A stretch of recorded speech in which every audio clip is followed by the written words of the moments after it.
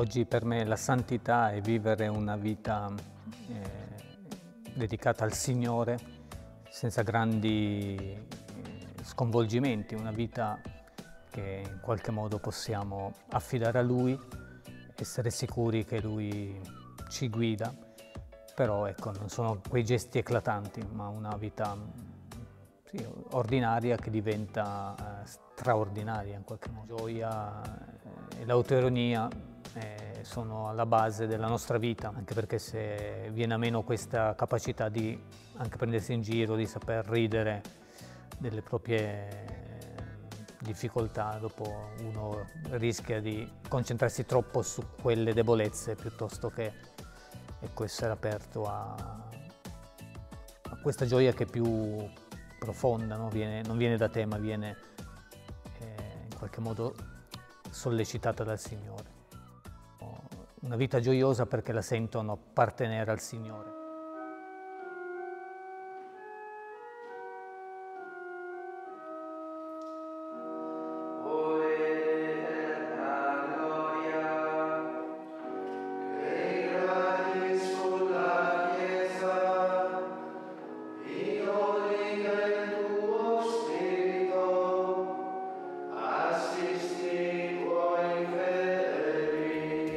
C'è forse un po' la tendenza a separare i due ambiti, il lavoro, le attività dalla preghiera, in realtà sono eh, in sinergia, devono lavorare insieme, anzi forse l'una fonda l'altra, ecco, il lavoro alimenta la preghiera, la preghiera può far sì che il tuo lavoro acquisti un valore a rischio e che facciamo le cose che ci piacciono, pensando di vivere in libertà, mentre in realtà ci chiudiamo a un nostro egoismo.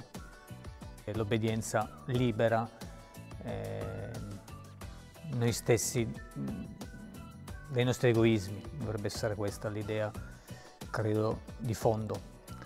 Il problema oggi è che forse siamo legati un po' troppo a questo egoismo.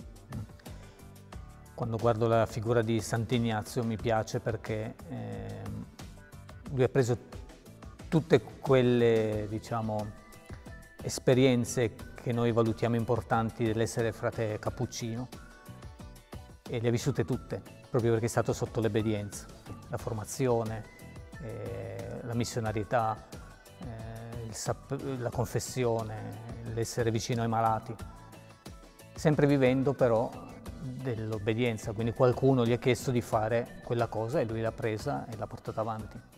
Questa è la libertà. Eh, il donarsi oggi per me è saper eh, guardare le esigenze degli altri, saperle vivere, sapersi mettere lì all'ascolto dei fratelli, delle difficoltà che magari vivono, anche delle gioie. Ecco. Eh, credo che oggi più che mai sia importante la condivisione della vita, cioè sapersi raccontare e saper accogliere eh, la narrazione degli altri. Momento dell'accoglienza vocazionale, che è la prima tappa del, del cammino per eh, entrare nei frati. Ecco, mi ricordo che nel momento della scelta facevo proprio fatica, eh, seduto sul, sul letto, ecco, dicevo tra me e me, eh, che cosa ci faccio qui? Signore, è veramente questa la mia strada, un po' quello che era nel cuore di Francesco quando si domandava anche lui, Signore, che cosa vuoi che io faccia? in quel momento di difficoltà tra la scelta eh, che il Signore mi chiamava a vivere e quello che avevo, appunto, un lavoro ben avviato, quindi mi piaceva, lo facevo con molta eh, passione. Ecco, dover scegliere da che parte andare era abbastanza complicato. Insomma, nella scelta eh, vocazionale uno fa sempre fatica, non è così immediato. Dico questo anche in riferimento a Sant'Ignazio che anche lui è stato tanto tempo nella formazione, per cui ha in qualche modo aiutato tanti a discernere quel momento critico, perché c'è sempre il momento critico in cui devi abbandonare qualcosa per seguire qualcun altro. Ciò che, mi ha fatto decidere è che quando sono, mi sono allontanato, cioè mi sentivo vuoto, eh, che quell'esperienza, per quanto era stata minima, perché era agli inizi, mi aveva in realtà colmato di tante cose, per cui in quel, sì, ciò che avevo, ciò che sentivo, ciò che provavo eh, è un'esperienza di casa, di famiglia che in quel tempo cercavo e che mi, ha, sì, che mi mancava